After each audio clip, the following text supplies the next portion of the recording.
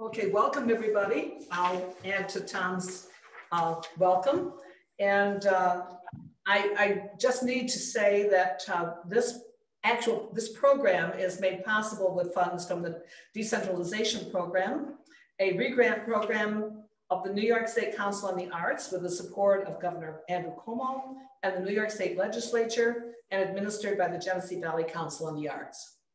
And I'm very pleased to welcome our uh, presenter uh, this evening, uh, Cynthia Howk. Uh, she's a native of Rochester, New York. Uh, she has worked for over 30 years in the field of preservation planning as a member of the Landmark Society of Western New York one of America's oldest historic preservation organizations. Her projects with both local residents, neighborhood associations, and area governments uh, in a nine county area have included historic resources surveys, nominations to the National Register of Historic Places, and advocacy for the reuse and rehabilitation of historic buildings. A graduate of Mary Washington College of the University of Virginia, she has lectured widely on regional architecture, local history, and the benefits of historic preservation planning. Before I let her start, I want to remind everyone that our bandwidth here is not as, as uh, good as we would like. And so please uh, leave your mics mute, muted and turn off your videos so that uh, uh that saves us uh, our bandwidth. So once you do that, we'll be in good shape and we'll get started. And uh, hopefully we'll have some other people joining us. But meanwhile, here's Cynthia. All right, Cynthia. Thank you, Joan. How is my audio? Can you hear, is my audio coming through all right? Audio's fine. Okay, thank you. Thank you for that nice introduction. I'm delighted to be in Nunda on an absolutely glorious spring day that we could get all of you trapped in your homes is a real achievement because it makes means that you're interested in and want to learn more about the two centuries of historic architecture in your village and town. This historic, the Discover Nunda talk is something Joan and I have talked about for a long time because we have certainly been excuse me, talking about historic preservation opportunities in Nunda, which is a real hotbed of preservation innovation over the last several, several decades. And so it's really a lovely opportunity to, during National Historic Preservation Month, which we celebrate every May as a national holiday, to talk about some of the great architecture in your community, which defines what Nunda is all about we sometimes get used to driving past buildings, structures and properties and we don't think about them that often. Sometimes we don't think about them at all until maybe they're lost or torn down.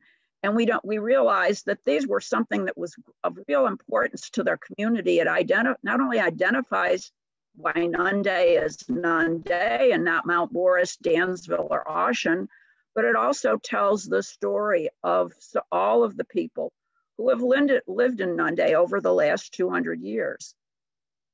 Now, of course, one of the challenges of being a Nunda resident is explaining nonstop that you are not a resident of Nunda, New York. You are a resident of Nunda, New York, an absolutely glorious location in the foothills of the Allegheny Mountains. And the name Nunda comes from the Seneca peoples, who were the original settlers here, and it refers to where the valley meets the hills. And anyone that's had the opportunity to come from Mount Morris, heading south as you gain elevation on a beautiful sunny spring day, as you come near, come into Nunda, is one of the most beautiful vistas anywhere in the Finger Lakes. Fortunately, it's a state road, so thousands of people do travel, but I often wonder how many people are really aware of the incredible view that you get as you come into Nunda, New York. Now, Nunda, like many, many communities in Western New York, started with a different name. You were actually called Nunda Valley. You, were the, you had some of the local features that made for an opportunity for settlement. You had several Native American footpaths that came together. Eventually, they became roads.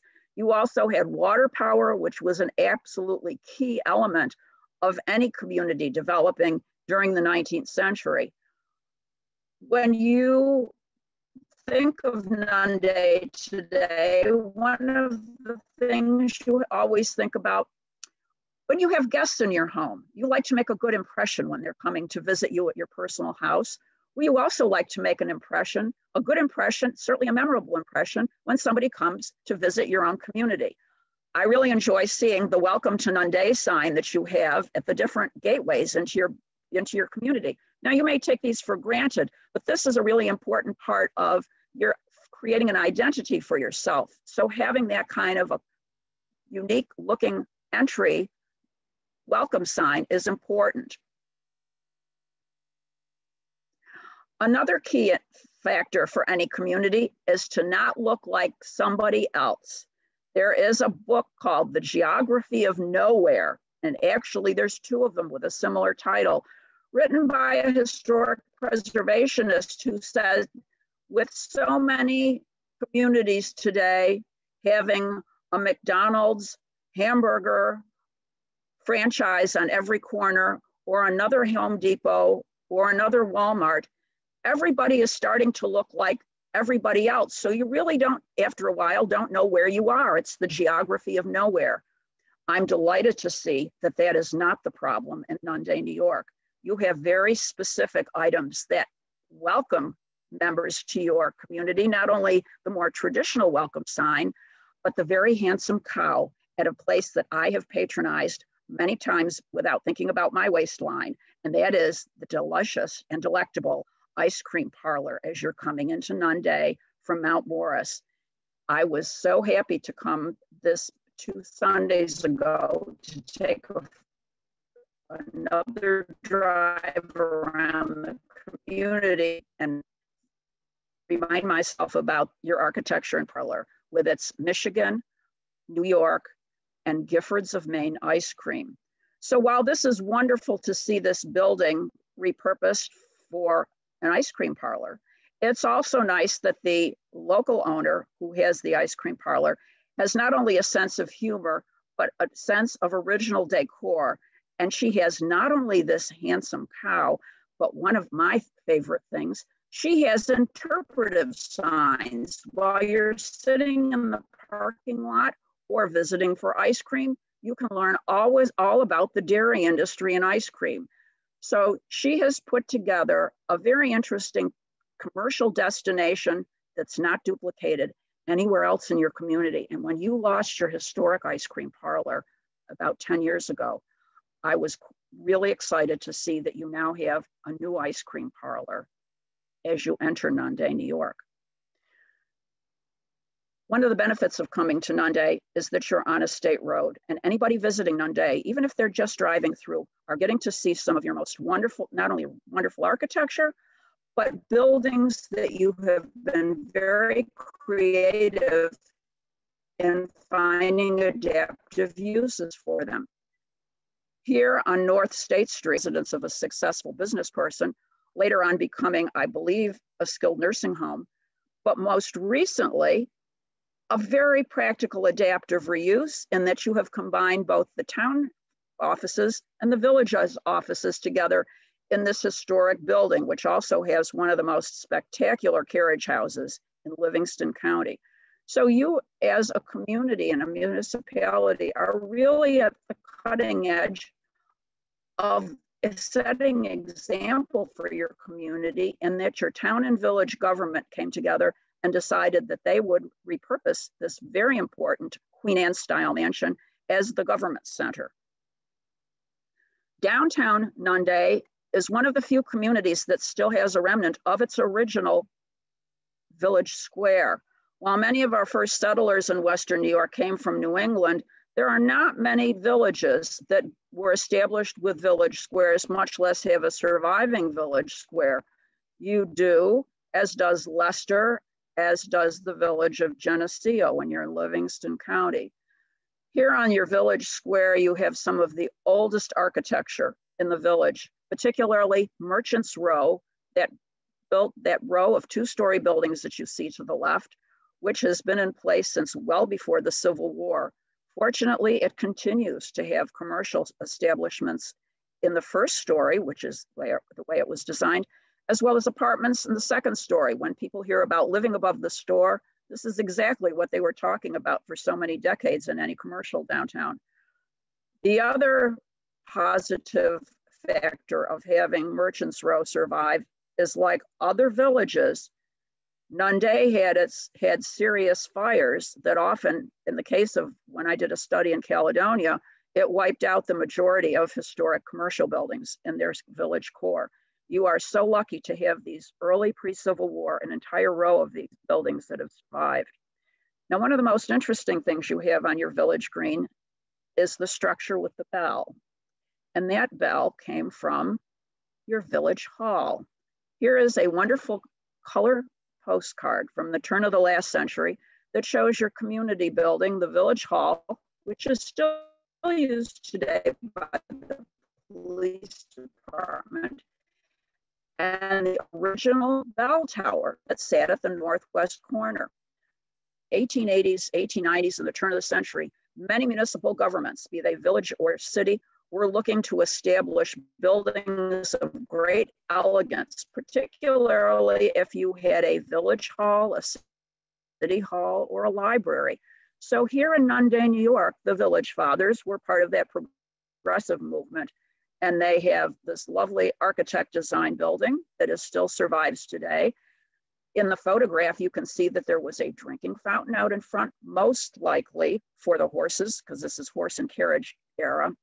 But the other item I wanted to mention about these color postcards, most of these were published in Germany, which is rather unusual. Why were there postcards of thousands of villages and towns throughout America being published in Germany? Well, there was a robust lithograph industry in Germany, but also to this was the internet of the turn of the last century you would have a postcard like this. And if you had come to visit from Geneseo and to visit a family member in Nunda, you would take one of these local postcards and scribble a little message on it and drop it in the, in the local post box. And it would get back to Geneseo or Caledonia, not as fast as an internet email, but it was somewhat like that. So when you see these, this for every community, there are so many of these postcards produced at the turn of the 19th and 20th century.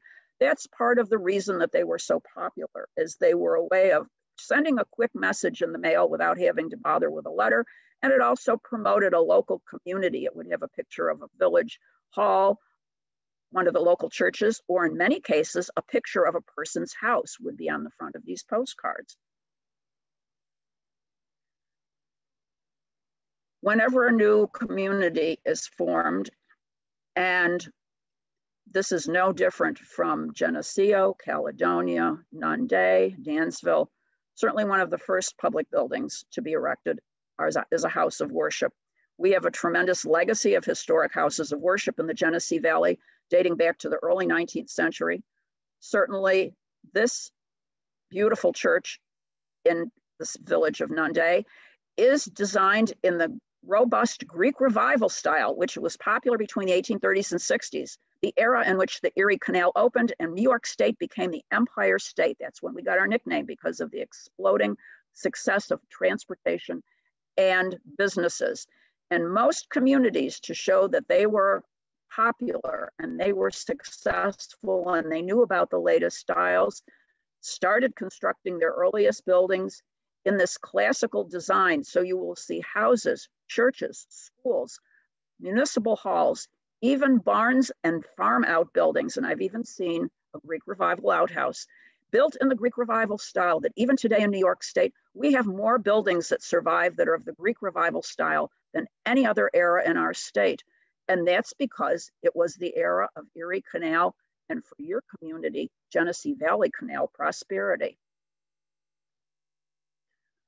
Other churches that have subsequently been built in your community are not just the wood frame church you see on the left, but the handsome later 19th century Gothic revival style church on the right, built of local brick and a very handsome design. Your church architecture in Nunda has a very wonderful history. And originally I wanted, there was a third church near here that was very much like the Greek Revival Church that you see on the left. And that was the Presbyterian Church that sadly, when their congregation was became much too small, they merged with the brick church that you are seeing on the right. But parts of their building were saved and today can still be enjoyed. I thought you would enjoy seeing a photograph of the sanctuary of the Presbyterian Church. And here it is unfortunately demolished in 1979. Here you can see one of the most impressive examples of Greek revival style religious architecture in the Genesee Valley. Those robust columns, those beautiful anthemion trim in the over over the columns in the cornice.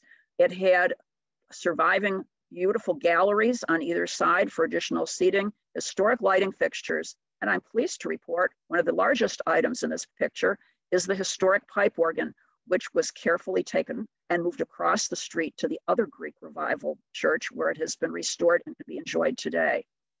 So this is an unfortunate loss of an important building, though today you do have a very lovely community park on the site. The downtown areas where we're going to, we're going to take a walk today, even though we would love, in this kind of weather, I would love to have you gather and walk as a walking tour like Joan Shoemaker organized about 10 years ago.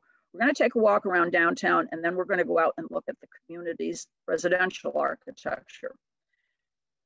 Here is part of Merchants Row, a really excellent example of a pre-Civil War era building that retains its original woodwork, its original design, and even those glorious six over six double hung wood sash.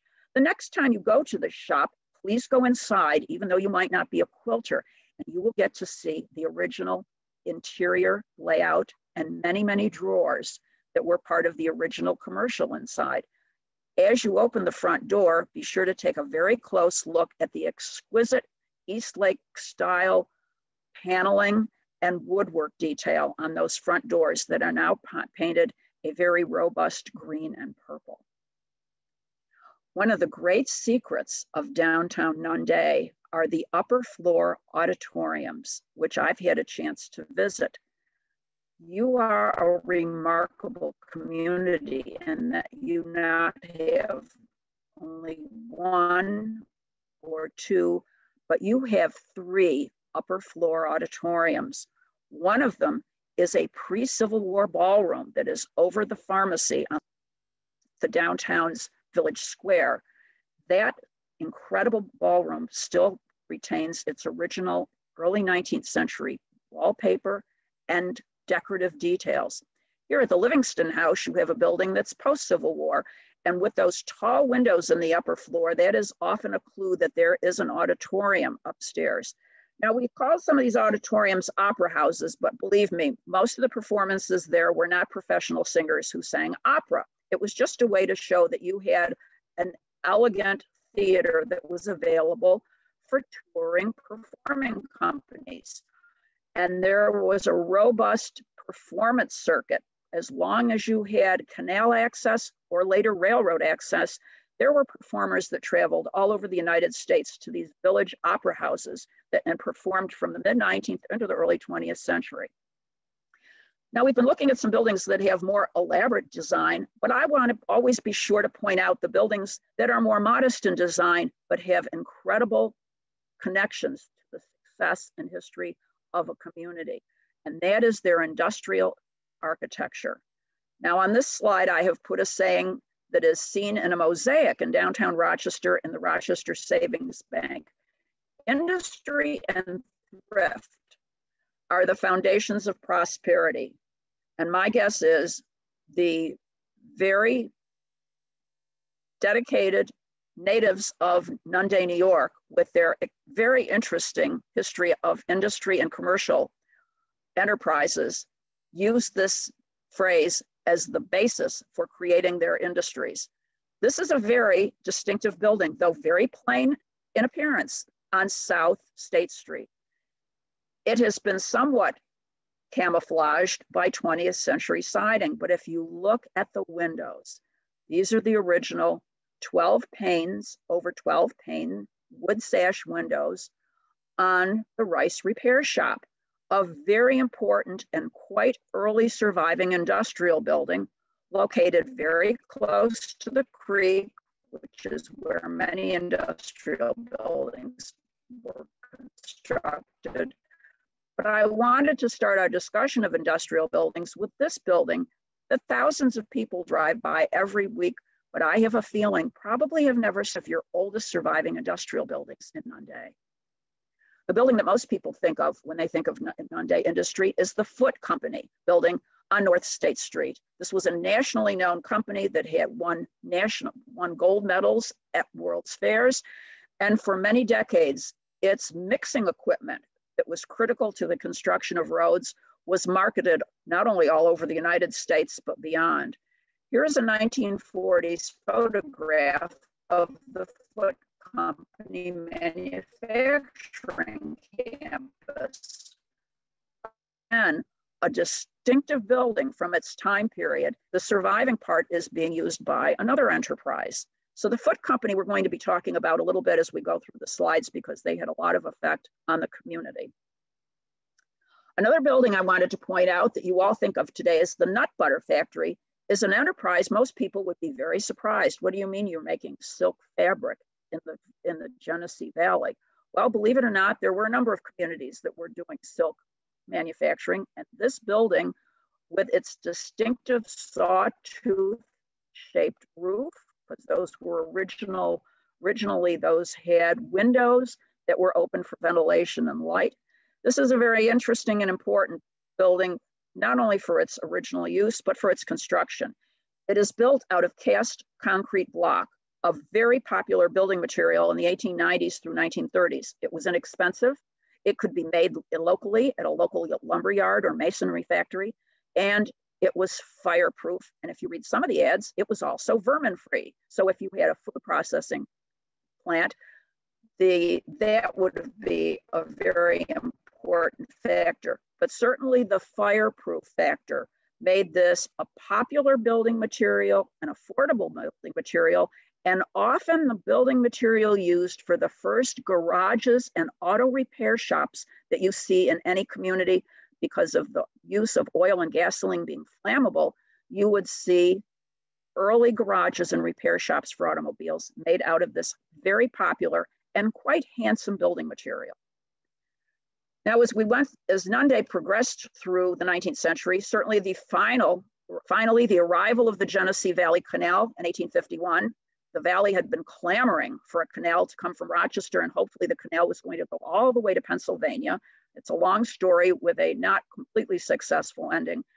But by after the Civil War, the prosperity of Nunda increased. And you can see that by some of the interesting architecture that was built on Main Street, particularly the Union Block, designed by a Rochester architect in the 1880s, who came together and decided they needed to do something elegant for architecture and the downtown area, and this was the resulting building.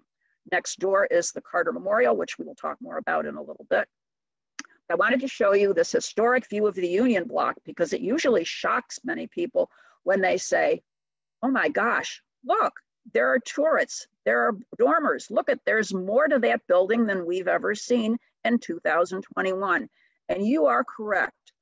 This is Nunda's most impressive commercial block. And that was the exact purpose of the original five gentlemen who built this, where and it became known more for its newspaper, the Nunda newspaper's headquarters, but there were four other companies. This building is unique in Western New York. And in recent decades, not only was, were the first five gentlemen who combined to make this a trademark project for the community in the 1880s, but in recent decades, Joan Shoemaker and others combined to purchase this building when it was in need of rehab so this has been a, a your most impressive building re rehabilitation to date. And hats off to those original 1880s owners who constructed this, as well as the recent visionaries who decided to buy it, rehabilitate it, and get it back functioning as the most important commercial building in your community. The Carter Memorial Building. Anyone who has driven through Nunda has probably been baffled by this incredibly elegant, sophisticated, and one of a kind building. There are certainly no other villages that have an American Legion Hall that looked anything like the Carter Memorial Building, which was built in the early 1900s. It was built by a gentleman who had started his life in Nunda. He went into service in the Civil War. John Carter also was the winner of the Congressional Medal of Honor, but where he became very successful was going just a little over the border into Titusville, Pennsylvania, where he struck oil and became incredibly successful in the petroleum industry. This was his gift to Nunda in honor of the Union Army. Today it is still the used as a meeting hall for the American Legion. So when people come to Nunda or anyone I've ever touched them cold in their tracks because it is not like anything else in the region. And when they hear the history of the building, they're really impressed. in the fact that Nunda has this building is a great asset for your whole community. Now, speaking of philanthropy, Mr. Carter was not the only philanthropist. Libraries that we take for granted today were not in every community. And again, at the turn of the last century, when you were in the progressive era, you start to see public libraries free of charge where you could come and collect and check out books. In a number of communities, those were funded by the Carnegie Foundation. If you go over to Warsaw, New York, there's a Carnegie Library there, as there is in downtown the village of Perry.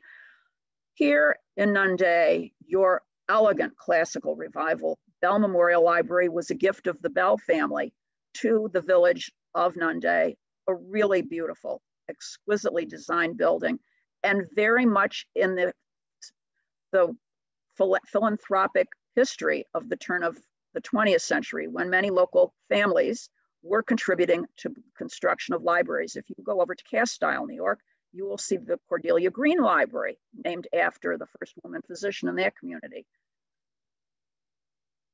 Transportation. One of my great treats driving around Nunda was discovering you have probably the largest collection of stone mounting blocks and cast iron hitching posts of any village in Livingston County.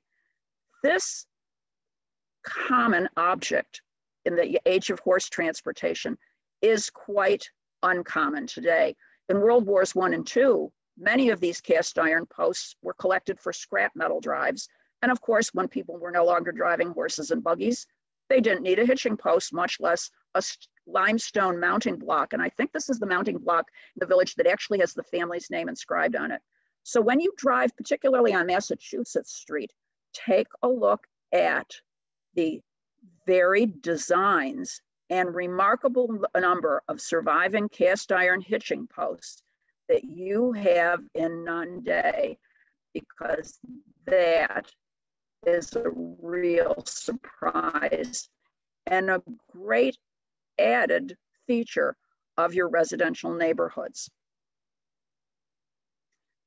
Storybook architecture. No, I'm not going to read you from Grimm's fairy tales was one of the great surprises when I first saw this. And I talked to Jim Shoemaker about its evolution. If you take a look at this building, it kind of looks like a Hansel and Gretel cottage. It has that charming round arch door, that swooping gabled roof. It looks like a little cottage you might see in England or somewhere in a German forest. And indeed, in the 1920s and 30s, this type of storybook inspired architecture became very popular for commercial buildings, but mo more for houses. This was built, my understanding is, as a commercial building right there on Route 436, which is a state highway. And when this was constructed in the 1920s and 30s, automobile recreation travel, those famous Sunday drives, were starting to be promoted to tourists and local residents alike. So often, when a new commercial entrepreneur decided to build a small shop, they might decide to use this early 20th century storybook style architecture, like you see in this charming little stucco building on North State Street. Transportation in the 20th century, obviously, I've just referenced that horses and buggies were retired and the automobile age comes. And downtown Nunda, you have the long stand that has been in the Joan Shoemaker's family for some time.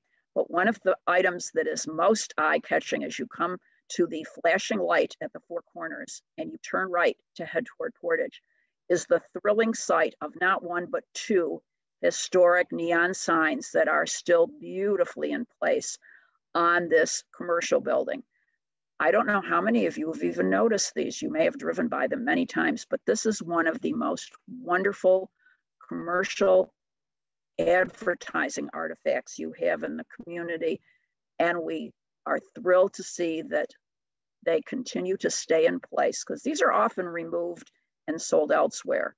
But for automotive transportation history, this is a real feather in your cap that you have two of these on this in the, in the village and they happen to be on the same building.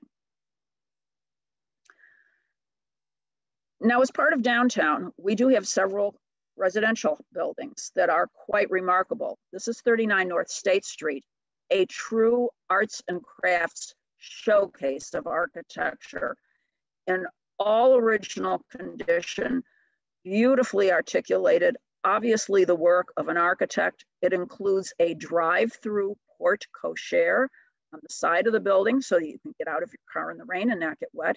And my understanding, this was built by one of the two Foote brothers who started the Foote Manufacturing Company.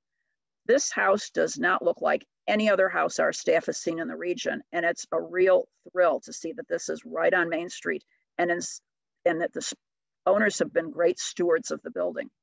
Now, next door to this house is a gambrel roof Dutch colonial revival house that I was told was built by Mr. Foote next door for one of his children. And this often happens in families of prosperous businessmen, you often hear about a father building a house as a wedding for, present for one of his daughters that's getting married. The interesting about the house that needs a little more research, which means you could order this from a catalog. All of the parts, the windows, the doors, the hardware, the roof, the stone, would come in a number of railroad box cars. They would be delivered from, most likely the company was in Michigan, and they would come to Nunda and then you would have a local craftsman put the entire house together from all of the parts that arrived on the railroad. We know that thousands of kit buildings, houses, commercial buildings, garages were manufactured, but we rarely know where they are. So if we can find out that this is indeed a kit, kit originated building, that would be very exciting.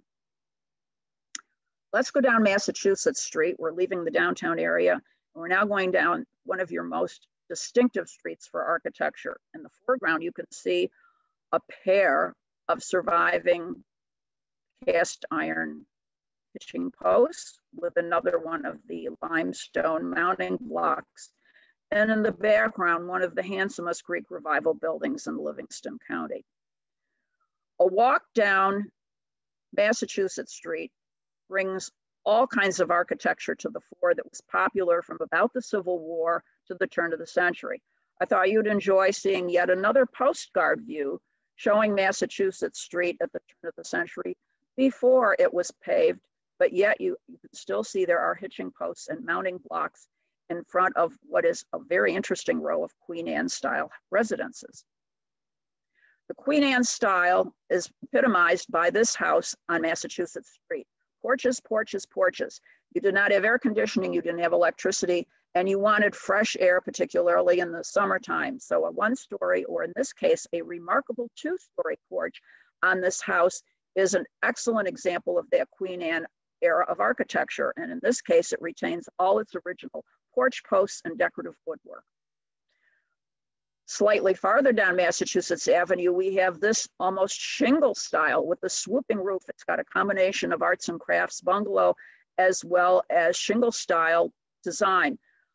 What is so distinctive about this is very early in its history, it appears that the porch became enclosed with those beautifully detailed decorative windows that mimic the same windows that you see upstairs in the upper enclosed porch. other houses on Massachusetts Avenue that showed distinct changes over time, but that does not mean that that's a negative to the architecture, is a house that we have here. And I wanted to talk about that picture window that you see on the first story. Not original probably to the 1900 um, era of when this was built, but this is called a Chicago style window that becomes very popular in the 1920s. It has a large central window flanked by two smaller windows. And this has becomes very popular. And in many houses where you had two smaller windows, it may have been in the 1920s that an, an, owner decided that this was a much more preferred window. And today, because this is now a window that was added more than 50 years ago, this is now a historic part of the building. I haven't mentioned too much about the term historic architecture, but we in the historic preservation field say that any building or structure that is 50 or more years old is potentially considered historic architecture. This building on Massachusetts Street with its elaborate front porch and decorative brackets is more likely to what people considered historic when they're thinking of architecture, usually buildings that were constructed before 1900. However, historic architecture comes in many shapes, sizes, and flavors, and rehabilitation in the School of Martha Stewart is not something we invented in the last 40 years. Renovation, rehabilitation, and additions to buildings happen over time. You can see on this house on Massachusetts Street, this is one of the rare houses that is was built with a French style second empire roof. That's that angled roof that you see above the first story that became very popular in the 1870s and 80s, but is really not seen very often in rural villages. I would like this house as a present from my father. And that is exactly what Miss Foote achieved. This remarkable architect designed Tudor, spelled T U D O R, revival style house on Massachusetts Street, was the result of a gift by one of the two Foote brothers who started Foote Manufacturing. In this case, Mr. Foote, who lived on Massachusetts Street. This remarkable one of a kind Tudor revival house is definitely one of the most unusual homes in all of Livingston County, but it is a really spectacular example of that design that while it harkens to medieval English architecture, it's very much of the 20th century. And if you take a look really closely, you can see the beautiful diamond paned windows on the first story and on the side where you see the plaster and dark brown wood trim, we call that half timbering. This is where her father lived across the street, 25 Massachusetts Avenue. It actually started as a quite different house, but as Mr. Foote, like many other businessmen, became successful, he decided he decided to expand and improve his house. And the result is this robust example of Queen Anne style architecture with that trademark Queen Anne style tower at the corner. Of course, it has one of the large Queen Anne style porches that really were meant to be your summer living room. You actually brought your living room furniture out onto the porch in the 1880s and 90s and 1910s because that is where there would be a breeze and you could, try, if you were wearing a corset or gentlemen, you were in high collared shirts and wool trousers, you wanted to catch any breeze possible because electric fans and our air conditioning were in the, in the future. This is a very interesting pr property because not only do you have this extremely elegant design Queen Anne residence, you have a porte cochere on the right. And the next you walk down Massachusetts, be sure to look at the fabulous grape arbor that is in the backyard. Other houses on Massachusetts Street may not be as robust and large, but when we look at historic architecture, we are not just looking at how big is a building and was it designed by somebody prominent. Most buildings in a community are represented by those who are of more modest means, but still were interested in constructing a house with details, such as you see here on this Italianate style home with the decorative brackets underneath the roof. When we drive around Nunda, it is obvious your most successful era of economic business enterprises were during the Italianate period of the 1880s to about 1890s because you have more examples of Italianate style houses than any other style in the community. And this is one of those Italianate style houses. Another Massachusetts street example of an Italianate style house. Again, you can see another variation with the decorative brackets underneath both the porch and the main roof of the house. And that isn't a flat roof, that's called a hipped roof. It has four different slopes at a very um, shallow pitch. And that is another trademark of this style. One of the most spectacular houses in Nunda is this Greek Revival style house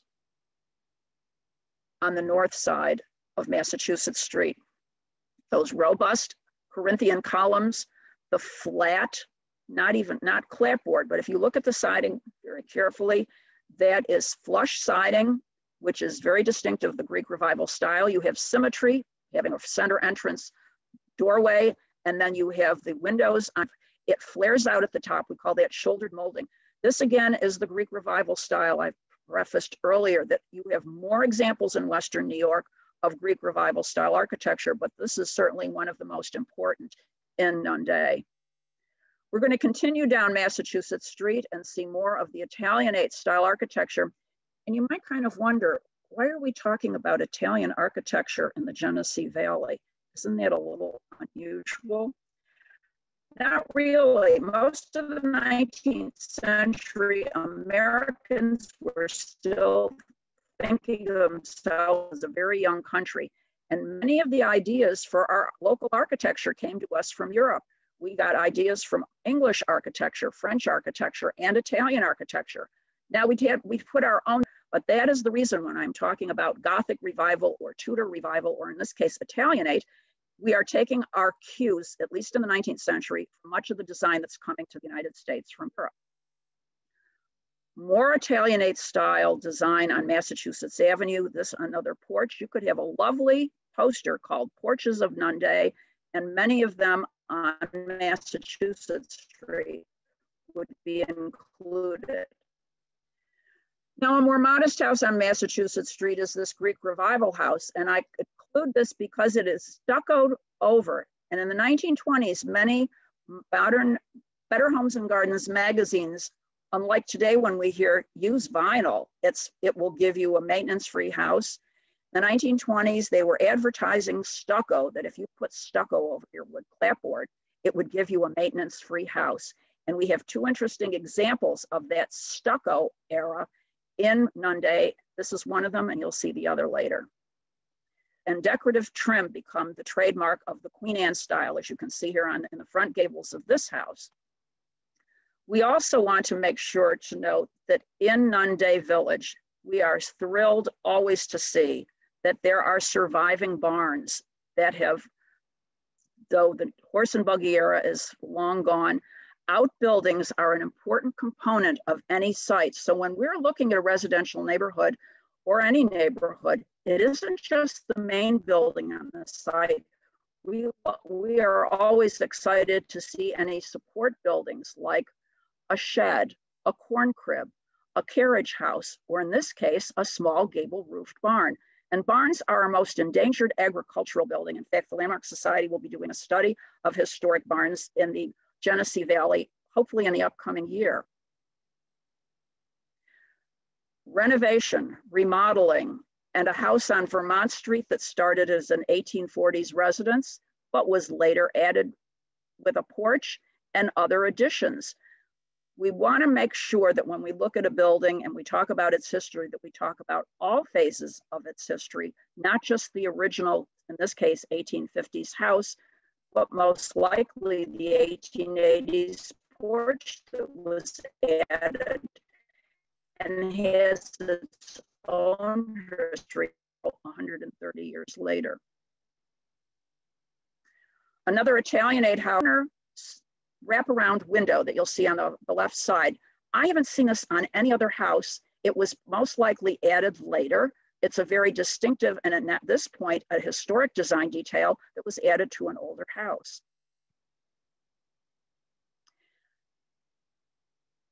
Tucked at the southeast corner of Nunda is a very important property that I'm guessing many people have never seen, much less know of. This is Elmwood Estate. It was built by a man who has a lot of success in the railroad industry. It consists of an exquisitely designed Italianate style house, complete with cupola, original decorative hood over the front door, original lintels over the windows, and a beautiful and impressive collection of barns. Elmwood was designed by Andrew Jackson Warner, Rochester, New York's foremost 19th century architect. Now, that may seem a little unusual. You mean an architect from Rochester came all the way to Nunda? You bet they did. Because of the railroad, architects practiced in cities could go anywhere and design buildings for any client in just about any community.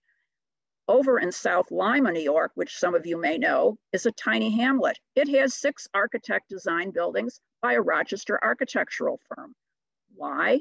Well, there were clients that could hire an architect from Rochester to come to South Lima, or in your case, a client in the village of Nunda who hired the region's foremost architect, Andrew Jackson Warner, to design this magnificent home that has been beautifully cared for for the last 130 plus years. And this property is one of two properties in the community that is listed on the National Register of Historic Places. Originally a farming operation, and today the Elmwood Estate still retains its large gambrel suite of gambrel farms as well as the silo, a very important complex in the village and probably a complex many of the residents don't know about because Elmwood is very much tucked away on Creek Street at the side, at the southeast corner of the, the village. Now I've been showing you both, both basically mostly buildings from the 19th century, but time does not stop at 1900 if we're looking at buildings and asking the question, so what's a historic house in Nunda, New York? We could be looking at a house from the 1950s or even 1960s because this is the era of post-World War II development. And this is the type of post-World War II suburban residential architecture you start to see now villages and hamlets in the Genesee Valley. And here is an example on Creek Street of one of your post-World War II suburban development. Likewise, this very dramatic mid-century modern house on Creek Street, possibly the work of an architect with that dramatic swooping roof. And obviously this does not look anything like Elmwood down the street, but this house tells its own story that when, as when any of us in the Landmark Society survey team visit a building, we never use the description, we think this is a pretty building or a not so pretty building. The most important question we ask when we look at any building, such as this, what does this building tell us about the era in which it was built and designed? And this building has as compelling a history as when standing in front of Elmwood and talking. N style houses with towers are not terribly prevalent in the village of Nunda. And this is an excellent example over on Church Street, a very handsome example, probably built somewhere between the 1890s and 1910s. And one thing to keep in mind when you're driving around Nunda, many of the styles that were popular in big cities often came later to rural communities. So you might see, for example, in the village of Webster, New York, I saw a Queen Anne style house with a tower that was built in 1910, clearly almost 20 years beyond when the style was popular. But when you go to a rural area, it's often that these popular styles that you've seen in a city linger and are built at a later date than you might have seen if it was in an urban area. Remodeling is part of our everyday life, no matter if it's a residential building or a commercial building. And sometimes when we look at buildings, we have to take a very close look that with modern vinyl siding and modern windows, if you look very carefully at the roof line of this building, you actually discover that it was originally a Greek revival building that dates from before the Civil War, though today it has very modern exterior cladding and windows.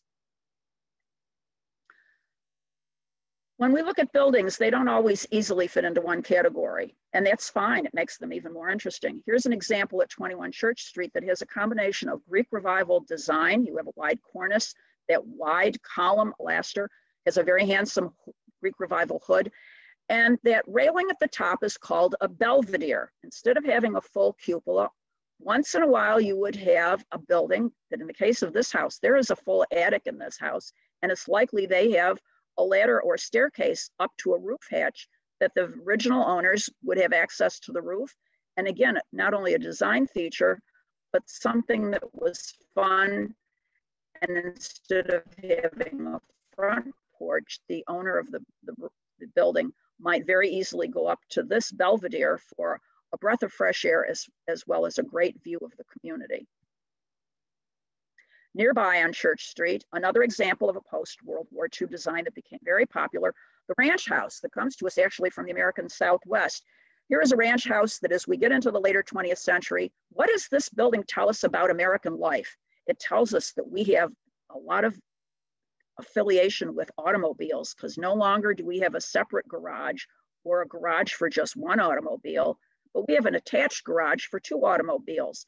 So this is starting, this tells us something about the change in culture, going from the days of a separate carriage or barn for your horses to now a fully attached garage as part of your house.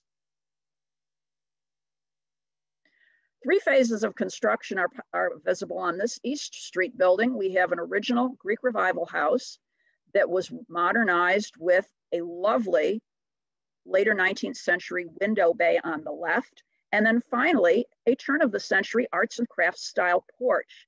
All of these different additions are now part of the history of this house and make it all the more interesting for having changes of design over a long period of time. Likewise, here's another Greek revival house, this one on East Street, updated most likely in the 1890s with a very nice Greek, Queen Anne style porch. And yet another example of a Greek revival style porch that when the with the coming of the automobile, this owner decided it would be nice to have a coach porch or what we call a porte cochere, that overhang that allows you to get in and out of your car without worrying about snow or rain or some of our other interesting. Now, cobblestone architecture. You have one cobblestone building, the village of Nunda. It is here on East Street. The style of this building is actually Greek Revival. You can see that by the eight over eight double hung sash, the wide white wood cornice under the roof line, as well as that highly distinctive front entrance that has a transom window over the front door and two side lights, all to let natural light into the center hall. Because when this was built in the 1840s, you would have had candle or oil powered lamps, and that center hallway needed all of the natural light possible.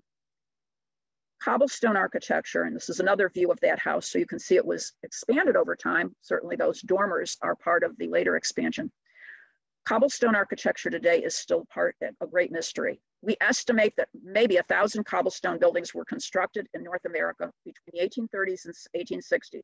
Most cobblestone buildings in North America are within a two hour drive of Rochester, New York. Here in Nunda, you are at the very edge of cobblestone country. Most cobblestone buildings are in the Lake Ontario shoreline if through Orleans, Monroe, and Wayne County. The farther south you get toward Pennsylvania, the fewer cobblestone buildings because again, this kind of cobblestone, these stones, which are a veneer, this is actually a field stone built house. And those horizontal rows of cobbles are a decorative veneer, which creates what we call cobblestone. It was much more expensive to build a cobblestone house in Nunda, New York, or to the south of you, one of the largest cobblestone houses in North America, a spectacular Italianate mansion, most cobblestone building in New York State. You are extremely fortunate to have this wonderful cobblestone building in Nunda, New York. It is one of your most important buildings. And if you'd like to know more about the fascinating world of cobblestone, architecture, you can go to the Cobblestone Museum website and a new database has been put together that features every cobblestone building in North America, cobblestone buildings that are in existence as well as those that are demolished. A cooperative project of the Landmark Society and the Cobblestone Society.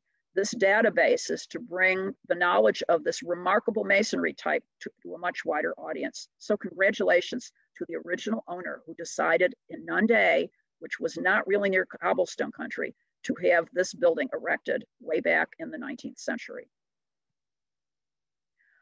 Other 19th century buildings you'll see as you go through Nunda could be brick buildings.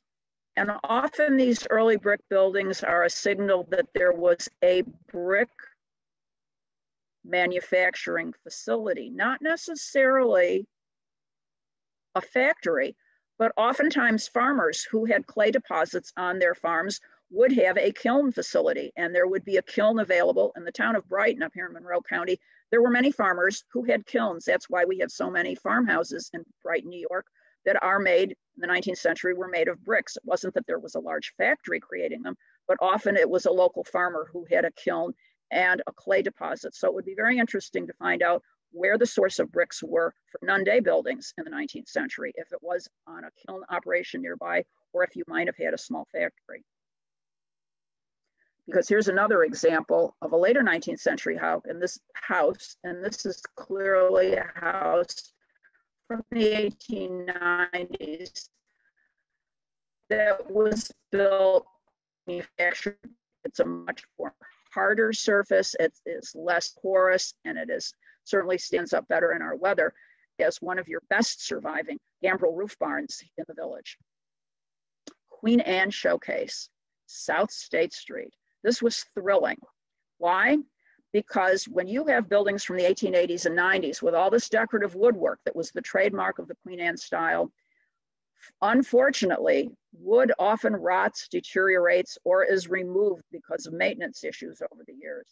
And this is remarkable to see all of the decorative woodwork, the spindle work up in the gables, the very elaborate turned posts, the bracketing that you see on the front porch. And much of this woodwork, even though you might have had a local lumber yard, with the coming of the railroad in the 19th century, many buildings that were constructed in the later 19th and early 20th centuries you could order decorative woodwork, stained glass windows, and other architectural features from catalogs, and they could be delivered to your local neighborhood, or in this case, the village of Nunda, produced because it could have very, very possibly been also ordered through catalog and shipped to Nunda for the, the developers who were building these Queen Anne style houses. South State Street also has a number of Italianate houses of various shapes and sizes, but I want to emphasize again, you have more Italianate style houses than any other style period. No two of them are alike. This is another one that has a belvedere on the hipped roof.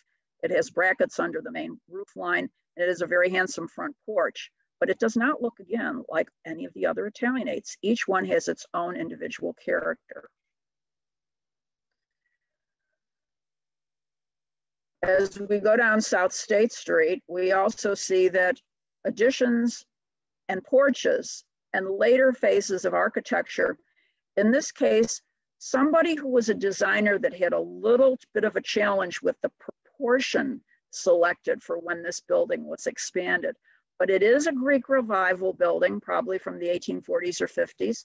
And then in the, the last decade of the 19th century, the ever popular porch which everyone wanted to have, was a major feature that was added to many of these pre-Civil War houses. Welcome to modern times, American Foursquare style architecture. This is a word that just, an American Foursquare means that this style of house that you see, which was produced by tens of thousands of examples all over the country from the late 1890s to about 1930, it is a square shaped residence with a hipped roof, often with one, two, three, or four dormers, or in this case, just a single dormer on the side. It has a porch built of brick and a very modernistic style. We don't have any turned posts or elaborate Queen Anne woodwork because we are getting away from that highly fanciful design of the Victorian era and we are moving into the modern 20th century. American four square houses are often described as the most amount of house built for the least amount of money. It is one of the most practical floor plans you will ever find in American residential Usually on the first floor, you have a living room, dining room, a bathroom, and four bedrooms. And when I say a bathroom, we don't take bathrooms for granted because for most of the 19th century, bathrooms were not a room in your house. You did not have a separate room. So this is one of the first styles of residential architecture where the bathroom is now an intrinsic component of the design. Also on South State Street in this early 1920s era, while we're looking to the modern American Foursquare, Americans still like to look back to colonial and classical design. And here is a very distinctive colonial revival style house, possibly architect designed. But I was really excited to see this for a number of reasons. It's in beautiful original condition. All of the original materials and windows are intact, but it also has something that became very popular as a fad and then died out. And that is a sleeping porch, which is that, closed, that enclosed upper porch to the left. Sleeping porches were a mystery to me when I visited my best friend as in elementary school. We just knew it was this nifty porch off of the master bedroom, but we really didn't know why it was there because it seemed rather odd. It actually has a, a uh, relationship to American medicine when medicine wasn't quite as successful or had the medicines that we have today and that is the era of tuberculosis. We forget about tuberculosis being a scourge for centuries. There were no medicines to treat it until the 20th century, sleeping out of doors year round. There were all sorts of approaches. Even in the 1930s, the state of New York built a tuberculosis sanatorium in Mount Morris, New York, one of the last sanatoriums to be built for TB, because in the 1940s, there would be medicine that would then be available to treat tuberculosis patients. So the sleeping porch you see here on the second floor to the left, this became a fad, not only for new houses, but many older houses would have a sleeping porch added to them because they would often follow modern trends to sleep out of doors in fresh air year round in hopes of avoiding the Great White Plague, which was the other way, the other name by which tuberculosis was called. So sleeping porches today are decorative, they're wonderful, they have ventilation, but they had a very serious nature when they were originally popular.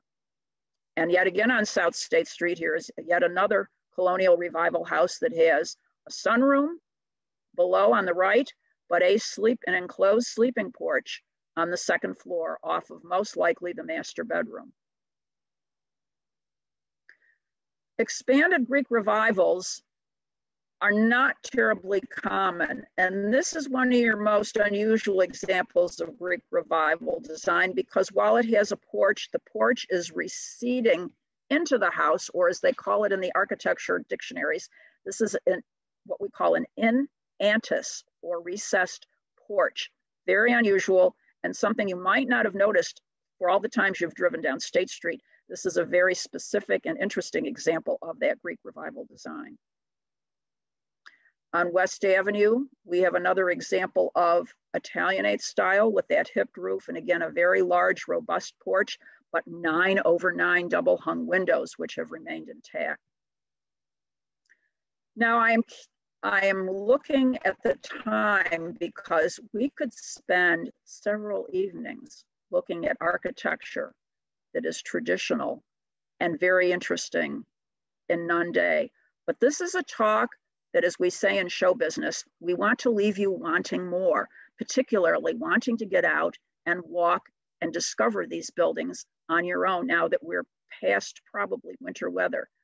So when you're out looking around Nunda and you walk around, get out of your car, it's great exercise, or even if you're at the flashing red light at the Four Corners, start looking around at the architecture. Here we have an architecture Greek revival example, but there's a 1880s porch that's been added two eras of design, both now of equal historic significance. One of your most spectacular Italianates on West Street is this house. And my understanding is the reason for these larger houses on West Street is a reason that's very much under the radar screen today.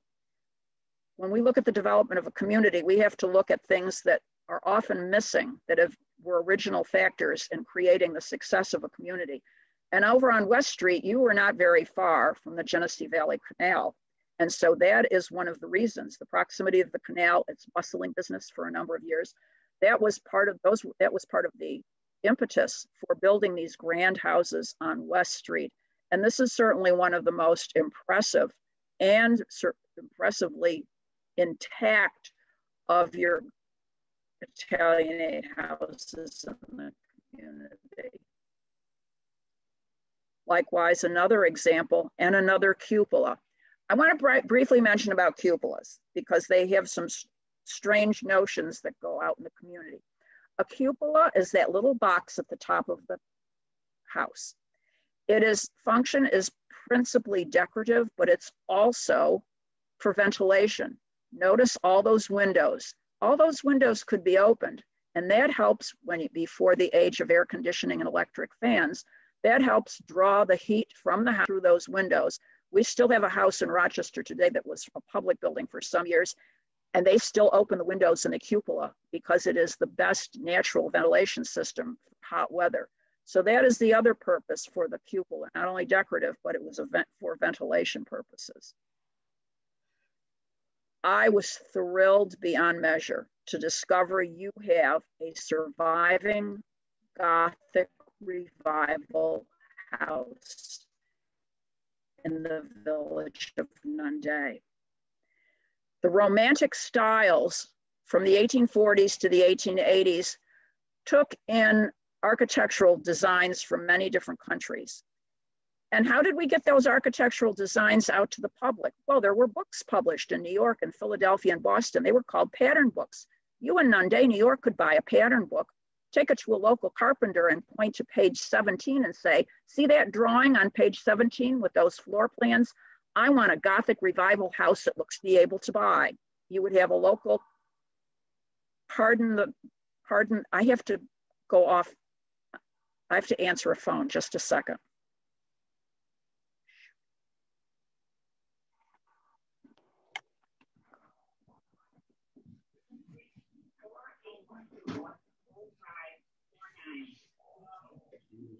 Okay.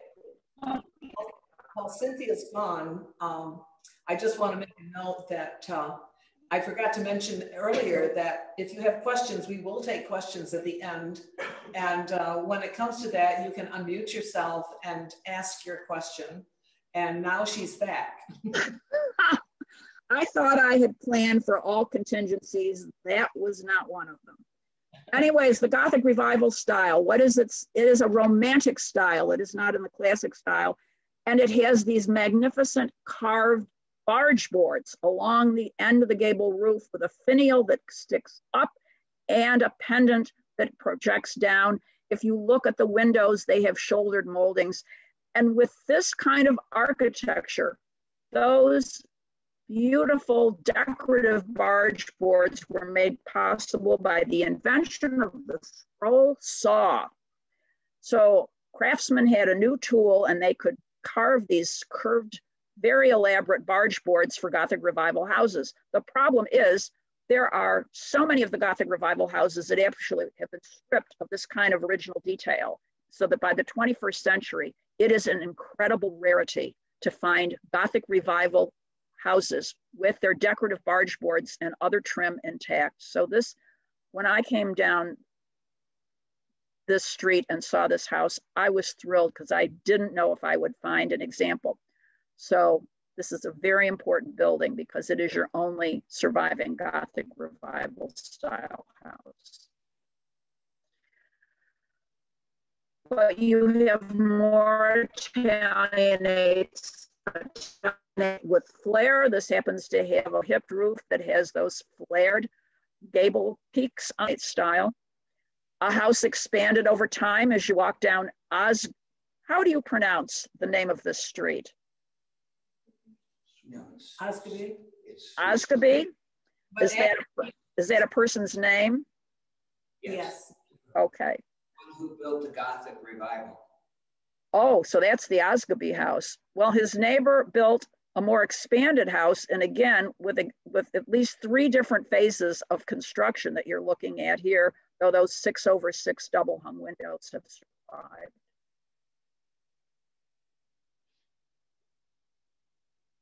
Arts and crafts bungalows. As I mentioned, the heyday of business success in Nunda, New York made it into the 20th century and enough that you had local residents who were crafting the latest style of house design that did not come from Europe. The bungalow actually originated in northern India, where it was referred to as a bungalow, and became most popular initially on, in California on the West Coast. And then popular magazines and craftsmen like Mr. Stickley out of Syracuse promoted this style through magazines. This is an exceptional example of a bungalow style house from the 1910s or 20s. That swooping roof, the porch is always tucked under the roof, just like the designs of this type of building in Northern India. And they have those, what we call battered or angled porch posts that you see in single and pairs, which support the roof. This is a really exceptional building, and this is the kind of house you expect when you step inside. There will be acres of varnished gumwood trim and hardwood floors. Porches, we have just been discussing as an important component, but not all porches come as a wraparound. On Mill Street, we have this exceptional, one of a kind, frankly, Italianate house with a very handsome decorative hood that's bracket supported roof that you see over the front entrance and beautiful matching brackets that have survived. In this case, this house is further enhanced by beautiful arched, what look like carved limestone lintels over the windows, which we have not seen on many houses previously. More Queen Anne design on Mill Street with all of the original details intact. And in this case, house painted several colors so you can appreciate the different designs because these Queen Anne style houses were really meant to have a main color, a trim color, and an accent color so you could enjoy all of the decorative details. That doesn't happen with many other houses. This one has a decorative barge board, which was a little unusual for this style house. But here's an example of what I wanted to bring out with the Queen Anne design. This is a very beautiful house. It has all of its Queen Anne design, but wouldn't it be fun to take three colors and paint the main body of the house, a main color, a principal color, the trim around the windows, and then an accent color. And then you would see like the house we saw just two slides ago, the real design of that, because that's what this house was meant to have at least three different colors to bring out all that beautiful woodwork. On Mill Street, you have several remarkable Greek revival houses, one that was photographed for a national project, and I don't have a, a slide of it there, but here we have the most iconic version of Greek revival design. It looks like a temple, though it's a residence. It could just as easily be a bank but this temple form with that triangular shaped pediment set over four robust Doric columns. The Doric column is just plain at the top. And those ridges that you see in the column, those are called flutes, F-L-U-T-E, just like the instrument. These are fluted Doric columns in a very important example of temple form Greek revival design in the village. Likewise, there are two other Greek revival houses on Mill Street. One is a little bit outside the community. It's on the north side of the road, and it is a very important example of Greek revival style, as is this house at 3454 Mill Road, more Greek revival robust design. When we get to Gibbs Street, we have some 20th century architecture that takes some of its design work from classical revival, but it also a little bit of the arts and crafts is sneaking into this house, most likely built in the 1920s. Another example of American Foursquare is seen here on Gibbs Street. And again, those very solid, robust looking battered columns that you see on the front porch. Italianate with brackets and more. If you walk down Fair Street and take a look at the side uh, hood to the right, that beautiful, those beautiful carved brackets that are holding up that type of that roof. That is the kind of detail that should have vanished 50 or more years ago so that it has survived into the 21st century is quite remarkable. Another American four square house, which also has some details from the colonial. You never know what the original designer or the client is going to want for the design. So that's why we get such variety among these single categories of American four square, Queen Anne, and Greek Revival. Out on Payne Road, a very, a very interesting example of Greek Revival. It almost looks a little top heavy with that very pronounced sturdy yet elegant triangular shaped pediment. And a detail we haven't had seen before, if you see those little rectangles, those are called frieze, F-R-I-E-Z-E, frieze windows. Those are actually windows that probably have, they have decorative, in this case, it could be their wood or cast iron metal grates over them. And the window actually is a sliding panel that slides into the wall. So while this is a part of the decoration, these are very much functional windows. Once you get inside the building, you could see that. But from the outside, they look strictly like decorative openings.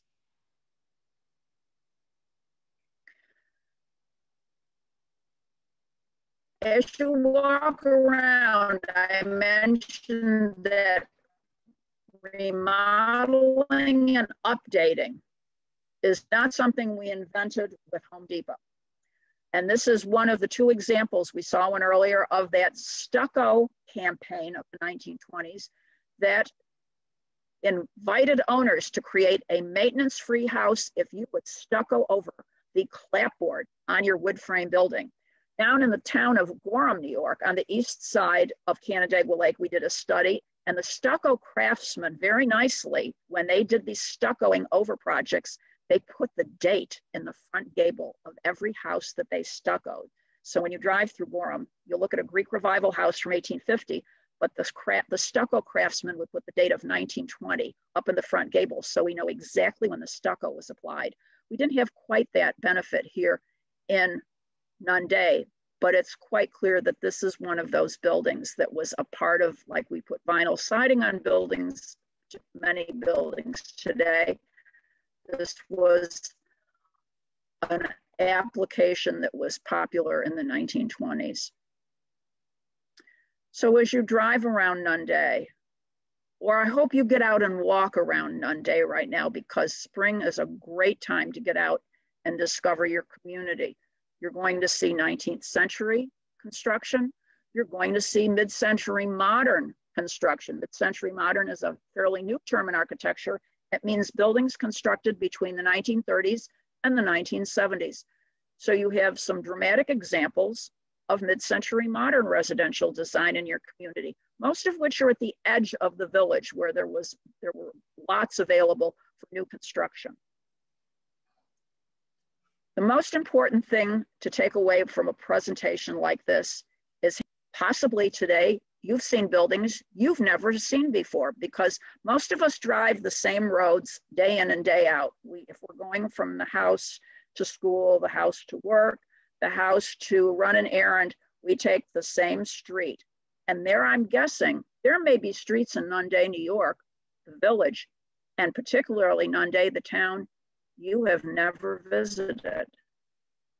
So, what better way to spend the beautiful spring weather that we are getting right now. The leaves are coming out.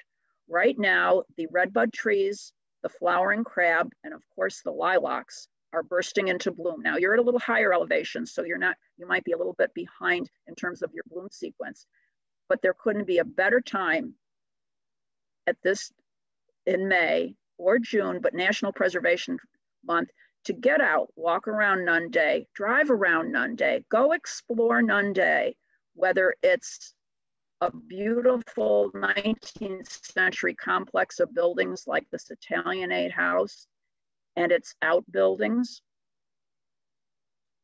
or one of my favorite outdoor resources, the local cemetery.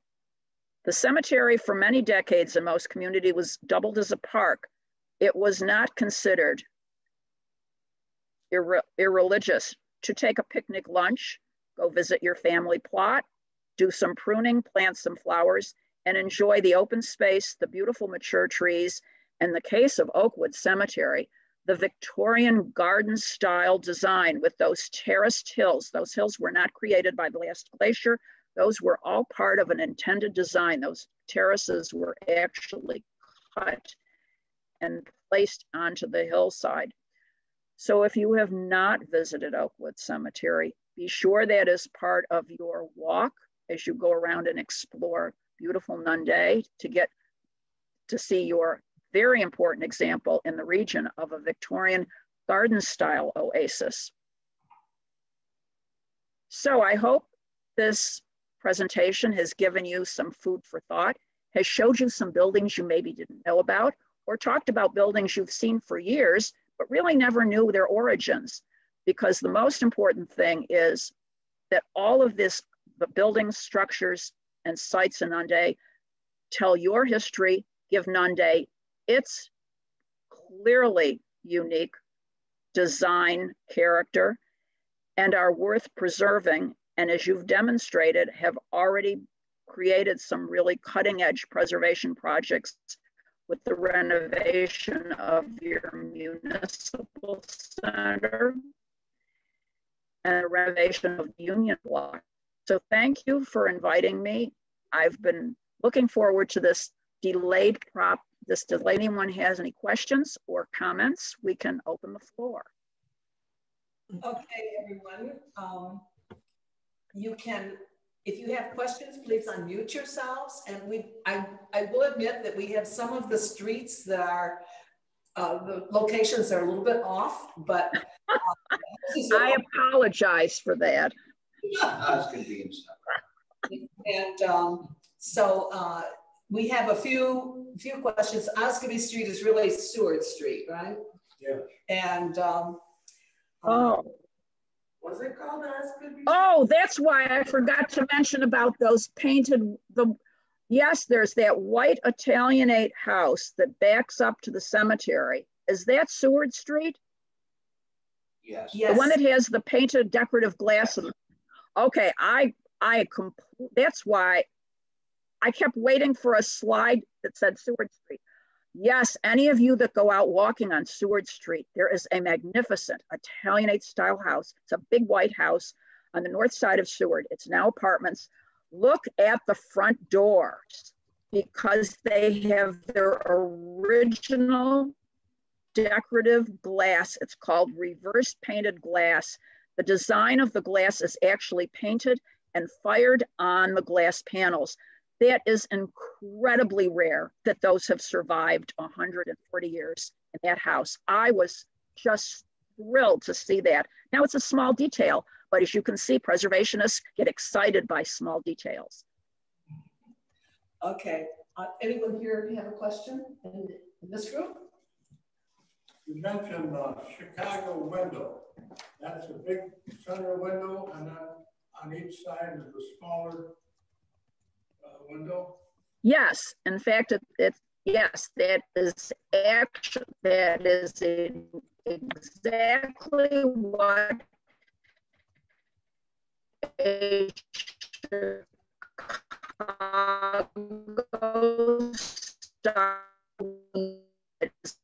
large window, which is usually not a window that on either side when Chicago was exploding with new architecture, particularly department stores and larger public buildings.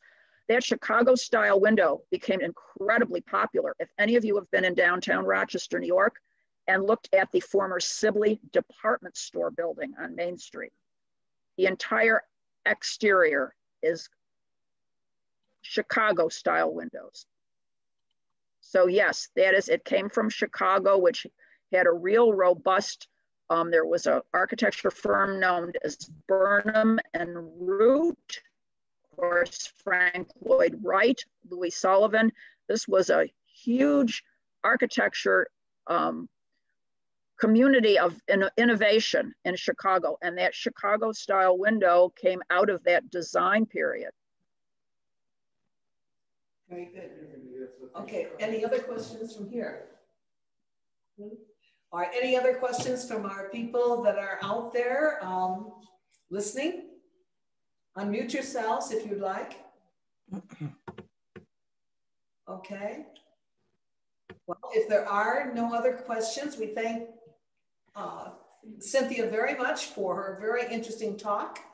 And um, hopefully everybody enjoyed that and uh, will indeed discover things that they have not observed before and start looking for the various interesting things that Cynthia's brought up tonight. So, uh, and I'd like to thank the Historical Society and Joan and her team for um, this invitation and put in a plug. The, the historical go to the website of the Nunda Historical Society. It is an outstanding resource of information, both written and um, picture images of the community. You're very lucky to have not only the website, but your fabulous Historical Society headquarters where many of you are seated. Yes, we invite everyone to stop in and see us. Unfortunately, there are uh, people who live far enough away so they don't get here very often, but we certainly want the people who are nearby to know we're here and to visit. And uh, so we invite everybody to stop by and uh, make an appointment if you if we're not open when you're going to be here. And uh, and Cynthia, um, thank you again, and we will be in touch. Thank you very much. Thank you.